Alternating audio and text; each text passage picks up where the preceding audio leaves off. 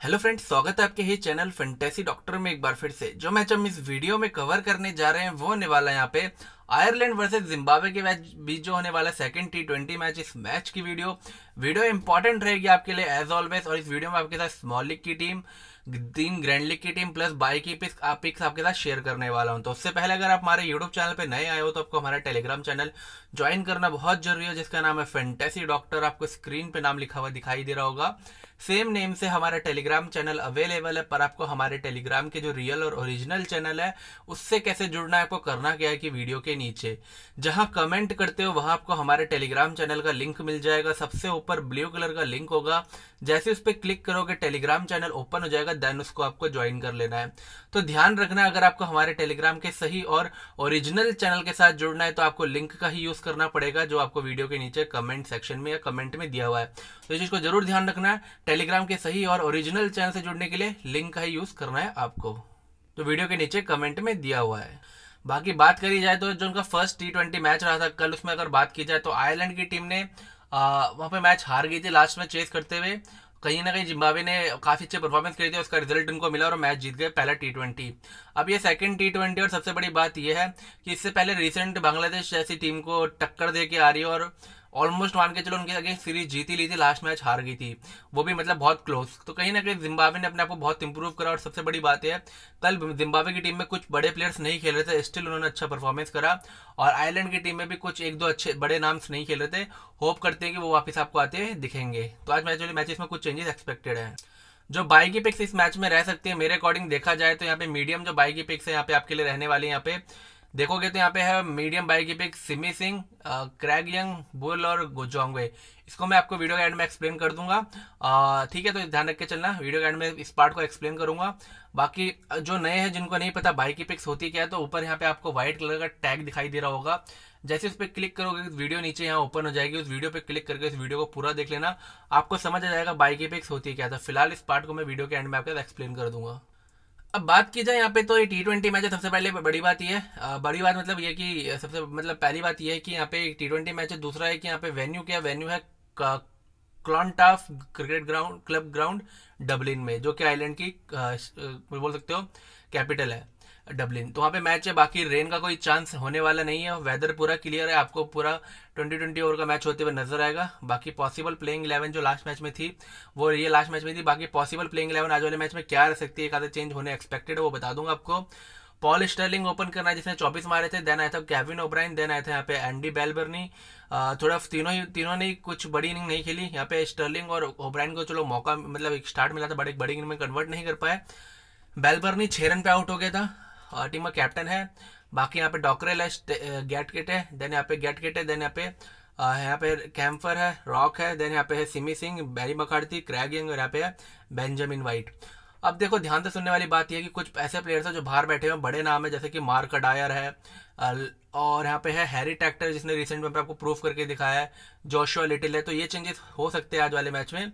अब बात की जाए तो यहाँ पे पॉल स्टर्लिंग ओपनिंग करते हुए नज़र आएगा, जो कि अपनी लाइफ की अच्छी फॉर्म में चल भी रहा है। और आपको पता होगा, अभी रिसेंट में द हंड्रेड मैन का जो फाइनल मैच हुआ था, वो स्टर्लिंग की टीम ही जीती है। स्टर्लिंग ने लास्ट मैच में आई थिंक हाफ़ सेंचुरी भी लगाई थी। तो कहीं ना कहीं स्टर्लिंग एक अच्छी फॉर्म में था लास्ट कुछ मैचेस से। तो इसलिए कहीं ना कहीं आप स्टर्लिंग को टीम में ले सकते हो और अच्छी फॉर्म में। और साथ ही बड़ी बात यह है कि part time part time spin bowling भी कर लेता है। तो एक ऑलराउंडर का रोल प्ले करता है कई बार पॉल स्टर्लिंग। बाकी कैविन इब्राहिम के बारे में एक ही चीज़ बोलूँगा। आई थिंक मैंने लास्ट इसकी एक डेढ़ साल से कोई एक अच्छी इनिंग देखी नहीं है, बड़ी सी। तो कहीं ना कहीं कैबिन ओवराइन अपने फॉर्म से स्ट्रगल कर रहा है। और शायद आपको याद होगा 2011 का वर्ल्ड कप जब इंग्लैंड को हराया था इन्होंने, वो कैबिन ओवराइन की वजह से जीते थे। बट उसके बाद मुझे केविन ओवराइन की शायद कोई इनिंग याद आती नहीं है, जो मतलब मेमोरेबल हो।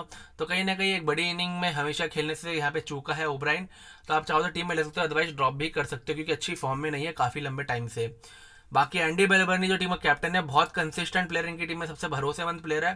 सिंगल डबल अब अच्छा खेलता है और सबसे बड़ी बात है, अभी रिसेंट में आपको याद हो, अफ्रीका के साथ जो मैच हुए थे इनके वनडे मैचेस उसमें अफ्रीका के अगेंस्ट यहाँ पे सेंचुरी लगाई थी बेलबर्नी ने।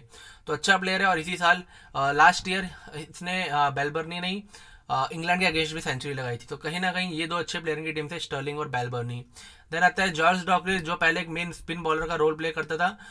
बट यहाँ पे इसको टीम ने अब बॉलिंग में उतने ओवर नहीं कराती। टीम इसको मेन एज अ बैट्समैन खिलाती है। और शायद आपको याद 2011 के वर्ल्ड कप में इसने धोनी को भी आउट किया था। तो पहले ये एज अ मेन बॉलर के रूप में खेलता था। स्पिन बॉलर है लेफ़्ट आर्म ऑर्थोडॉक्स बट कहीं ना कहीं टीम इसको एक मेन बैट्समैन के रूप में खिला रही है और कहीं ना कहीं दूसरी बात बॉलिंग में उतने ओवर नहीं करता। तो इसलिए मेरे लिए उतना इंपॉर्टेंट बनता नहीं है। बाकी शेन गेटकेट मुझे लगता है बाहर बैठेगा, जिसने लास्ट मैच में पाँच रन मारे, जहाँ दो ओवर बॉलिंग करी और एक ही विकेट मिला। मुझे लगता है कि यहाँ पे हैरी ट्रैक्टर का मौका बन सकता है। क्यों बनने वाला है? अभी रिसेंट में जो अफ्रीका वाली वनडे सीरीज़ आई थी, उसमें बोल सकते हो कि यंग टैलेंट है। हैरी हैरी ट्रैक्टर दो साल पहले अंडर नाइनटीन खेला था। इस बंदे ने अफ्रीका वाली सीरीज़ में बहुत अच्छी बैटिंग करी थी और हाफ़ सेंचुरी भी लगाई थी तो कहीं ना कहीं हैरी एक्टर बहुत इंपॉर्टेंट प्लेयर बनता है और अच्छा प्लेयर है और ग्रैंड लीग में आपको रिकमेंड करूँगा डाल लेने के लिए। बाकी कुर्तिस कैम्फर ने भी अपना को बहुत अच्छा प्रूव किया था। लास्ट ईयर इसने इंग्लैंड के अगेंस्ट जो मतलब बोल सकते हो कि इंग्लैंड के अगेंस्ट ने जो परफॉर्मेंस करी थी, वो सबको याद हो गया क्योंकि इसने आते ही डेब्यू मैचेस में विकेट्स ली रन मारे और हाफ़ सेंचुरीज लगाई तो कहीं ना कहीं कैम्फर एक अच्छा प्लेयर है। बट लास्ट मैच का अच्छा नहीं किया, जहाँ से तीन रन पर आउट हो गया बॉलिंग में भी सिर्फ़ दो ही ओवर डाले, जहाँ इसने पच्चीस रन खाए और एक भी विकेट नहीं मिला। तो कहीं ना कहीं टीम चाहे तो यहाँ पे मार्क अडायर को ला सकती है, इसकी जगह मार्क अडायर एक टी ट्वेंटी जैसे फॉर्मेट का अच्छा प्लेयर है क्योंकि आती पहली बॉल से हिट करना जानता है और दूसरा कि बॉलिंग भी तीन से चार ओवर अच्छे करता है और डेथ ओवर से बॉलिंग कर लेता है। तो एक चेंज यहाँ पे टीम चाहे तो कैंपर की जगह अडायर को ला सकती है। बाकी नील रॉक है मुझे लगता है कि टीम यहाँ पे लॉर्किन टकर को ला सकती है क्योंकि इंटरनेशनल लेवल पे लॉर्किन टकर नील रॉक से ज़्यादा मैचेस खेला है एक्सपीरियंस टकर के पास ज़्यादा है। बाकी सिमी सिंह ने बहुत अपने आपको प्रूफ करा। अफ्रीका जो सीरीज़ रही थी, वहाँ इसने सेंचुरी भी लगाई थी अफ्रीका के अगेंस्ट और सबसे ज़्यादा बैट विकेट भी ली थी। और लास्ट वाले मैच में वही करा इसने, अट्ठाईस रन नटआउट मारे और साथ ही चार ओवर डाले जहाँ दो विकेट मिले। ऑफ़ स्पिन बॉलिंग करता है इंपॉर्टेंट रहेगा। कैप्टनसी कैप्टनसी के लिए एक अच्छी पिक बन सकता है आपके लिए। बाकी यहाँ पे है बैरी मखारदी जो फास्ट बॉलिंग करते हुए नज़र आएगा आपको। और चार रन पे आउट हो गया बैटिंग में, चार ओवर डाले जहाँ एक ही विकेट मिला। क्रैग यंग ने बहुत इंप्रेस करा है। लास्ट एक डेढ़ साल से कॉन्टिन्यूस विकेट निकाल रहा है। तो इसको तो मैं मिस करने वाला नहीं हूँ। बहुत अच्छा विकेट टेकर बॉलर है। चार ओवर डाले, दो विकेट लिया लास्ट मैच में भी। बेंजामिन वाइट की जगह मुझे लगता है कहीं ना कहीं टीम अगर एक फास्ट बॉलर एक्स्ट्रा के साथ जाए तो यहाँ पे, मुझे लगता है कि यहाँ पे कहीं ना कहीं जोशा लिटिल को मौका बन सकता है, जो कि बोल सकता हूँ कि अगर जोशा लिटिल आते हैं इनकी बॉलिंग लाइन फिर बहुत तगड़ी हो जाएगी और कहीं ना कहीं जोशा लिटिल बाउंसर्स वगैरह अच्छे मारते हैं और बॉल अच्छी डालते हैं और विकेट टेकर बॉलर है। बाकी बात करें, यहाँ डेथ ओवर्स में जो इनके लिए बॉलिंग कर सकते हैं, अगर यहाँ पे लास्ट मैच के अकॉर्डिंग देखें तो बैरी मकार्थी और यंग क्रैग यंग बाकी डेथ ओवर्स आपको नहीं पता तो क्या होता है। पंद्रह से बीस ओवर के बीच का जो स्लॉट होता है टी ट्वेंटी में उसे डेथ ओवर्स कहते हैं। बाकी है मार्क डायर जो फास्ट बॉलिंग करते हैं नज़र आ सकता है। बाकी यहाँ पे है डब्ल्यू मैकलिन टॉक जो आपको यहाँ पे बात करें तो बाहर बैठते हुए नज़र आ सकता है। अब इनकी टीम से जो प्लेयर खेल सकते हो मतलब इंपॉर्टेंट रहेंगे उनके आगे मैंने राइट का साइन कर रखा है, वो प्लेयर आपके लिए इंपॉर्टेंट बन जाते हैं।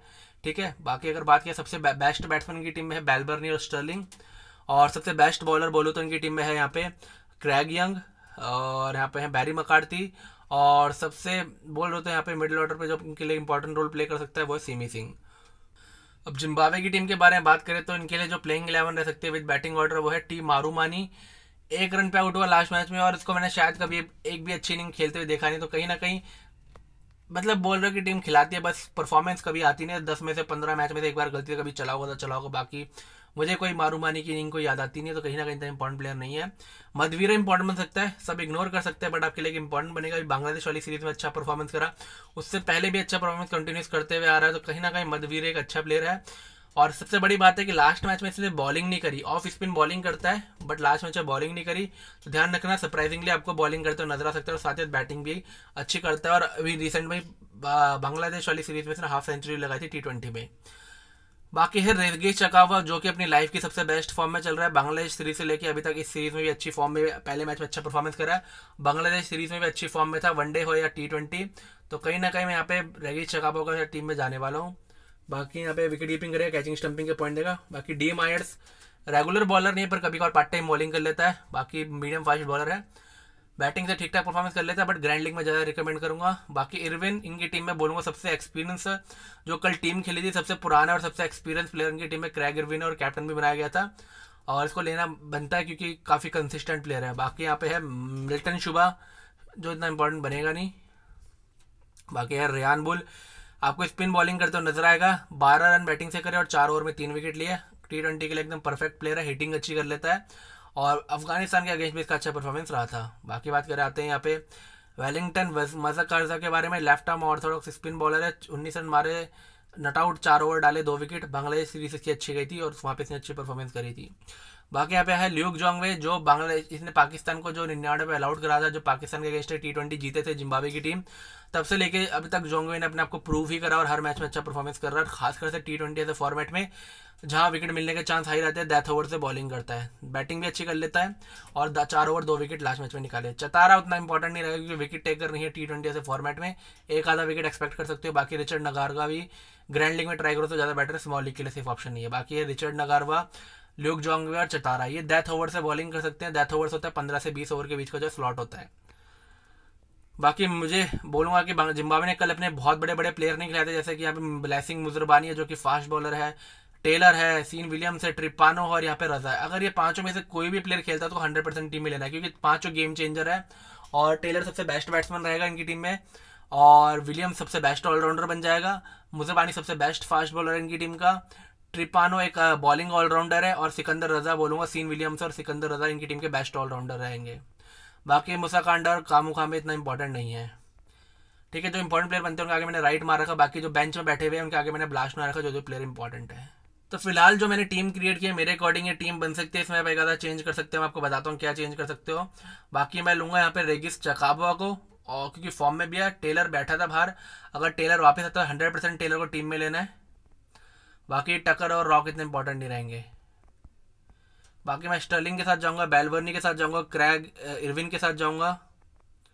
आप चाहो तो इरविन की जगह ओब्राइन को ले सकते हो क्योंकि ओपन कर रहा है। बाकी ओब्राइन काफ़ी लंबे टाइम से अच्छी फॉर्म में नहीं है। मायर्स को ग्रैंड लीग में ट्राई कर सकते हो। हैरी डक्टर खेलता तो ग्रैंड लीग में, बाकी और कोई इतना इंपॉर्टेंट नहीं बनता। बाकी मैंने लिया सिमी सिंह को लिया, बुल को लिया यहाँ पे मदवीरे को लिया। आप चाहो तो मदवीरे को ड्रॉप करके ओब्राइन को भी ले सकते हो। बट क्या है कि ओवराइन वैसे बॉलिंग तो करता है बट ओवराइन काफ़ी टाइम पे टाइम से बॉलिंग भी नहीं करता मीडियम फास्ट तो कहीं ना कहीं मुझे लगता है मदवीर है हमारे लिए बनता है क्योंकि पार्ट टाइम बॉलिंग करते हुए नज़र आ सकता है. बाकी कैम्फर तो अच्छी फॉर्म में था बट लास्ट मैच की परफॉर्मेंस देखो तो मुझे लगता है टाइम टीम शायद इसको बाहर बिठा सकती है. बाकी गेट गेट इतना इंपॉर्टेंट नहीं रहेगा. और डॉक्टर सिर्फ़ एज अ बैट्समैन खेला तो इंपॉर्टेंट नहीं रहेगा. बाकी अगर सीन विलियम्स आता है small league plus grand league दोनों के लिए अच्छी पिक रहेगा. सेम सिकंदर रजा के साथ भी है. बाकी यहाँ पे बात करूँगा क्रैग यंग को लिया जोंगवे को लिया मज़ा कार्डे को लिया, यहाँ पे लिया मैंने मकार्ती को. आप चाहो तो अगर यहाँ पे आएगा मुजरबानी तो मुजरबानी को ले लूँगा। बाकी अडायर तो इम्पोर्टेंट बन जाता है। और नीचे देखोगे तो और कोई इतना इंपॉर्टेंट रहता नहीं। जोशर डिटेल आता है तो आप मकारती की जगह जोशर डिटेल को ले सकते हो, क्योंकि जोशर डिटेल विकेट टेकर बॉलर है। तो आज काफ़ी चेंजेस होंगे तो टीम में काफ़ी चेंजेस होने वाले हैं, क्योंकि आपको फाइनल फाइनल टीम टेलीग्राम पे मिल जाएगी। कैप्टन से कैप्टन से मैंने दोनों ऑलराउंडर को दिया रियान बुल और सिमी सिंह को। आपके पास जो ऑप्शन है, उसमें है पॉल स्टर्लिंग एंडी बेलबर्नी ये दो। अब ग्रैंड लीग की टीम वन के बारे में बात करें तो ग्रैंड लीग की टीम वन मेरे अकॉर्डिंग ये रहने वाली है। और ये टीम मैंने ऐसी बनाई, मान के चलो सारे इंपॉर्टेंट प्लेयर आ जाते हैं टीम में। तो वहाँ पे टेलर को मैं वाइस कैप्टनसी दे सकता हूँ। यहाँ मैं सीन विलियम्स को कैप्टनसी दूँगा। यहाँ मैं जो जो बड़े प्लेयर्स आएँगे टीम में, उनको आपको बता दूँगा कौन कौन से। तो पॉसिबल मतलब ये अगर बड़े प्लेयर आते हैं, उनके बेसिस पर ये मैंने ग्रैंड लीग की टीम बनाई है। अगर नहीं आते, बड़े चेंजेस लास्ट मैच के अकॉर्डिंग रहती है। ग्रैंड लीग की टीम तो फिर ग्रैंड लीग की टीम ये बनाऊँगा मैं। अगर लास्ट मैच के अकॉर्डिंग ज़्यादा चेंज टीम करती नहीं है। तो ग्रैंड लीग की टीम टू रहेगी। बाकी जो फाइनल टीम होगी आपको, ये स्मॉल लीग की टीम है टेम्प्रेरी बाकी जो फाइनल टीम होगी आपको small league plus grand league की फाइनल अपडेटेड टीम आपको टेलीग्राम में मिल जाएगी। आफ्टर टॉस तो टेलीग्राम चैनल ज्वाइन कर लेना। उसका लिंक आपको वीडियो के नीचे कमेंट में मिल जाएगा। सबसे ऊपर ब्लू कलर का लिंक होगा। जैसे उस पर क्लिक करोगे टेलीग्राम चैनल ओपन हो जाएगा देन उसको ज्वाइन कर लेना। बाकी वीडियो अच्छी लगी तो लाइक कर देना। फ्रेंड के साथ शेयर वेयर कर सकते हो। अब आते हैं बाई की पिक के ऊपर। देखो, बाई के पिक के ऊपर रीजन यह है कि सिमी सिंह चार ओवर डालेगा, मान के चलो दो विकेट लेता है, पंद्रह बीस रन करता है, हमें प्रॉफिट दे सकता है। यंग के साथ सेम सी में चार ओवर डालता है, मान के चलो दो ओवर डाल, दो विकेट लेता है तो हमें प्रॉफिट दे सकता है। सेम बुल के साथ सी ने तीन से चार ओवर डालेगा बैटिंग से पंद्रह बीस करता है, एक आधा विकेट लेता है तो हमें ठीक ठाक प्रॉफिट दे सकता है। बाकी मान के चलो ल्यूक जोंगे के बारे में बात करें तो ल्यूक जोंगे के साथ भी सेम सी ने चार ओवर पूरे डालेगा, दो विकेट मान के चलो प्लस बैटिंग से दर्शन करके देता तो हमें प्रॉफिट दे सकता है। तो ये चार मेरी मीडियम पिक्स आज वाले मैच में रह सकती है। बाकी फाइनल टीम टेलीग्राम पे मिल जाएगी। वीडियो अच्छी लगी तो लाइक कर देना। दोस्त और फ्रेंड के साथ ज़रूर शेयर कर सकते हो। चैनल को सब्सक्राइब कर लेना सब्सक्राइब का रेड बटन नीचे दिखाई दे रहा होगा, उसको दबा देना और घंटी दबा देना ताकि वीडियो की नोटिफिकेशन और मैसेज आपको सबसे पहले जब भी वीडियो अपलोड करूँ। और टेलीग्राम चैनल ध्यान से ज्वाइन कर लेना। लिंक के थ्रू जो वीडियो नीचे कमेंट में दिया हुआ है। बाकी फाइनल टीम का टेलीग्राम पर मिलेंगे। आफ्टर लाइनअप तो मिलते हैं फिर टेलीग्राम पर जय हिंद दोस्तों। Bye bye